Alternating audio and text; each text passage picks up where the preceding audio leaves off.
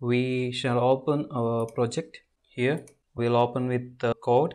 We have our project. First of all we will go to our terminal. I will run the project.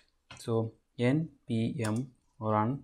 Serve enter. It will start our development server. As usual clicking this link will open our project. So far we have done with the invoice but we have to add some functionalities to this invoice. One is that we have to remove the item. Second we have to add rows to it. So other than that we have finished everything. So let us uh, code that one. So in order to make it faster i have already made my code but uh, i will explain you in detail. So i'll just minimize it. So will, so we have first we have to go to our data we need to add some method. So i have prepared the methods here. I'll just copy them i'll explain you what is what are them. Just i'll copy paste. Um, anywhere in the uh, script you can paste the methods. So if you want to paste it top if you want to paste it above there's no issue with that. So we this is the method. We have all the methods that go under this method. So we have add item. I have a new object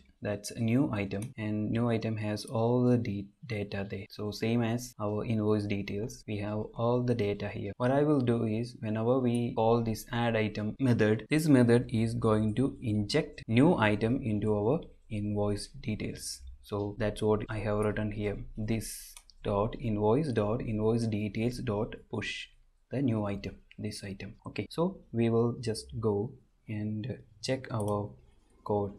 So whenever I click this uh, button it's not going to do anything else.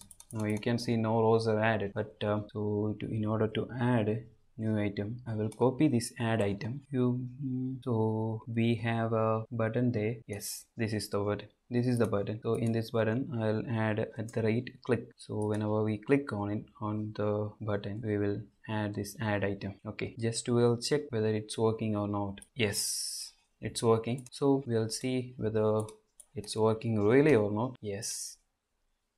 So product 2 150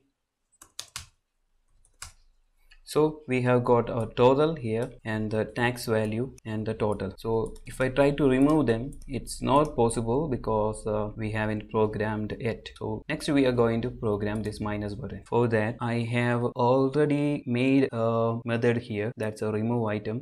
It receives an id so we confirm it. So let confirms equals confirm. So i'll just make is confirm. So it will ask a question there. So do you want to delete the data? So if we say to delete it so it will remove the item from the invoice details. Okay so we'll just call invoice item and we'll put here. So at the rate click. What we'll do remove item and we have to pass an id here. The id we get it from here uh, from this i so we pass the i here. So we have got okay fine. I'll save. Now i'll add a product and plus icon will generate another item for us. So if i remove item it asks for uh, it asks a question. And do you want to delete the data? If yes and if i no I, I don't want to delete then no. So if i cancel it it will not delete. If i press ok it will delete. Now I wanted to add some more data to it so I'll just delete it.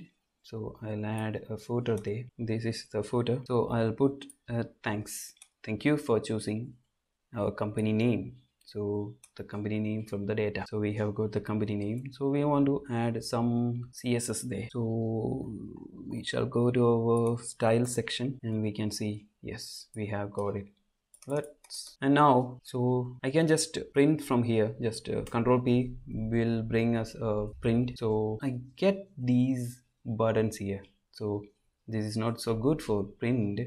So i will just remove. For that purpose i will add another css this is the one. I'll just copy and paste it here. So we have d print none.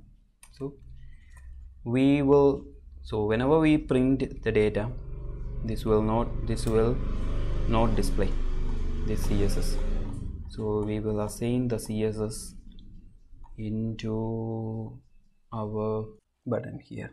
So just a css so the same css we need to add it here as well as in our customer id yes. Now we don't have uh, this these buttons in our print. So we have completed the project so far